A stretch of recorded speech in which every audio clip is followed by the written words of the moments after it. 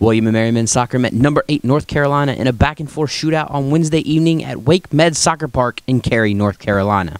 You know, I think it took us a little while to get going there. I think uh, we were maybe a little too fearful. I'm not sure why, but um, you know, we got off to a bad start. I think we were a little we caught on a little a little bit unaware, excuse me, in transition and uh, gave up a, a pretty simple first goal, and then allowed that to rattle us a little bit. It took us a while to get going you know, we got to go and transition ourselves, which sort of gave us a little bit of belief. And unfortunately today, you know, our set piece defending wasn't good enough, and ultimately that was the, the difference in the game. We did score a good set piece or a goal from a set piece to, to get it to 2-2, but, you know, again, uh, Carolina's a good team. Um, felt like if we'd had our top performance, we had a good chance to win the game tonight.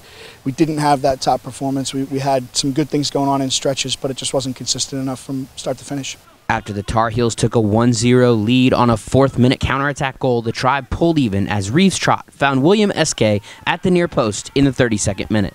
The first goal came in transition, which the last couple games we just haven't had as many opportunities to have transition moments because other teams have defended a little bit deeper with more numbers against us. Um, so we always knew that with, with Carolina, they were going to send numbers forward, and that if we did a good job of defending and winning the ball and connecting some passes to break pressure, that we would get some transition moments.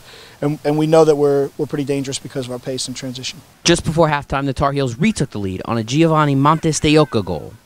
Antonio Bustamante responded with the equalizer in the 69th minute, rifling home a shot from 25 yards out off a pass from Eskay. It's good to get a goal from a set piece for sure because that's something that uh, we've been spending some time on. We've been trying to, you know, get guys into the optimal positions, and uh, you know, tonight we got a goal from those situations. Unfortunately, UNC's Alan Winn scored the game winner just four minutes later off a set piece. It was Winn's second goal of the contest. I think we feel good about the way we started the second half. We feel good about uh, our being a little bit more courageous in terms of passing the ball and, and, and keeping it a little bit more in the second half. And um, you know, hopefully those things will carry over. I think we're learning some valuable lessons here early in this in this you know non-conference part of the schedule, and uh, the the goal is to keep putting more and more of it together. And hopefully Saturday we'll be able to do that and, and uh, get the kind of result that we're looking for. The tribe hosts Campbell on Saturday as part of Family Weekend. Kickoff is set for 2 p.m. from Martin Family Stadium.